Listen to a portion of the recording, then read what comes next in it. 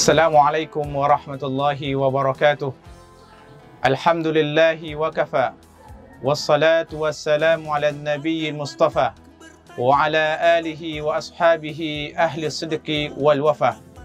اللهم انفعنا بما علمتنا وعلمنا ما ينفعنا وزدنا علما وفقها وإخلاصا في الدين يا رب العالمين. أما بعد bagi orang tua memiliki anak merupakan suatu anugerah besar yang diberikan oleh Allah Subhanahu wa taala. Karena dengan adanya anak, adanya keturunan, orang tua merasa akan ada penggantinya nanti setelah dia meninggal dunia. Akan tetapi ketahuilah bahwa anak ini adalah nikmat dari Allah Subhanahu wa taala. Merupakan titipan dari Allah Subhanahu wa taala yang mana setiap titipan-titipan tersebut harus dijaga dengan sebaik-baiknya. Kalau tidak, maka titipan tersebut berubah menjadi azab dari Allah Subhanahu wa taala. Maka untuk menjaga titipan dari Allah Subhanahu wa taala, maka orang tua harus mendidik anaknya dengan didikan yang baik dari semenjak kecilnya. Karena anak itu diibaratkan bagaikan kertas putih orang tua akan menulis di atas kertas putih tersebut sesuai dengan keinginannya. Kalau tulisannya bagus, maka baguslah anak itu nantinya.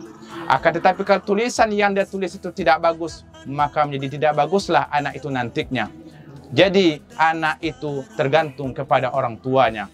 Makanya Nabi saw dalam sebuah hadisnya mengatakan, "Kullu mauludin yuladu 'alal fitrah."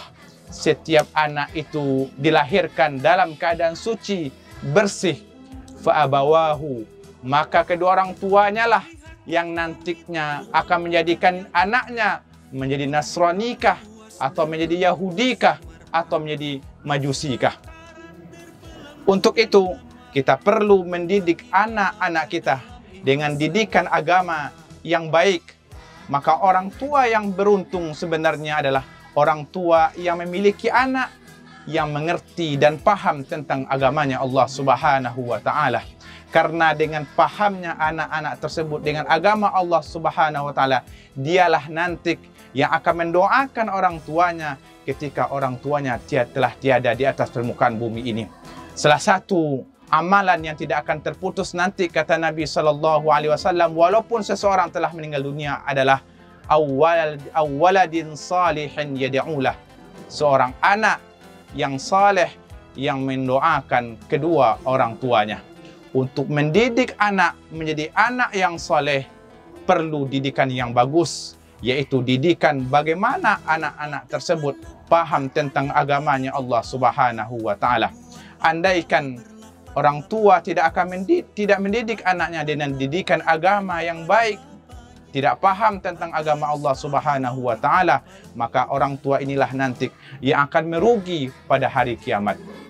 Di dalam sebuah kisah dikatakan bahawa orang tua ini rajin beribadah kepada Allah, rajin baca Quran, rajin hadir ke pengajian, akan tetapi dia tidak mendidik anaknya dengan pemahaman agama yang baik sehingga anaknya tidak kenal solat, tidak kenal Allah, tidak kenal bacaan Al-Quran, maka nanti pada hari kiamat ketika orang tuanya sudah siap-siap masuk ke dalam surganya Allah Subhanahu wa taala dan anak ini digiring oleh malaikat untuk masuki nerakanya Allah Subhanahu wa taala.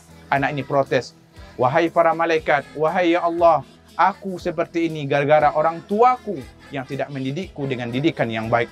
Maka malaikat pun menyeret orang tua tadi yang telah siap masuk ke dalam surganya Allah Subhanahu wa taala. Apa sebab? Karena dia meninggalkan anaknya tanpa ada didikan agama sedikit pun sehingga anaknya tidak tahu bagaimana agama Allah, bagaimana cara beribadah kepada Allah Subhanahu wa taala. Mudah-mudahan kita dijadikan oleh Allah Subhanahu wa taala orang tua yang diberikan amanah berupa anak dan dijadikan oleh Allah orang tua yang mampu mendidik anak-anaknya menjadi dengan didikan yang baik, dengan didikan yang tahu agama Allah Subhanahu wa taala. Wabillahi taufiq wal hidayah. Wassalamualaikum warahmatullahi wabarakatuh.